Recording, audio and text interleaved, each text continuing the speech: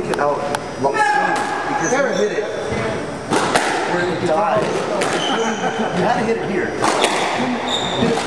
Back wall, and you couldn't wait because it would just die here. So he, so he just had, had to hit it like here. And he was outdo it until he messed up. And then he set it up. You know, set himself. Yeah. Yeah, it's right. that mentality. Just keep hitting it all over.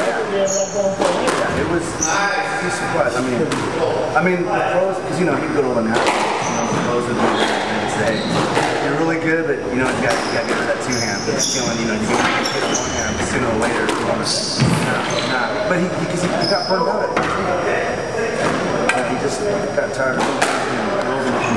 No, he liked it. So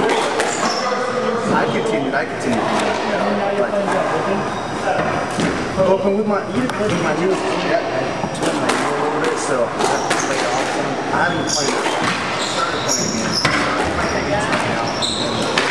And then um No, a tournament. They're open this thing. Nah,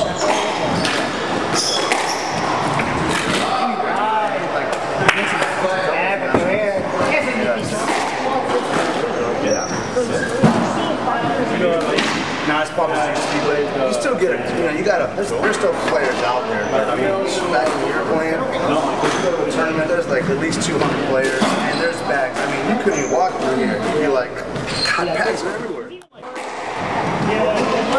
people are playing there. A lot of guys are away. Well, and that's the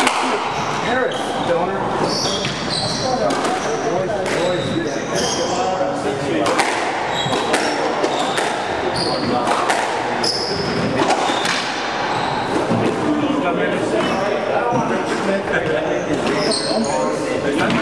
you.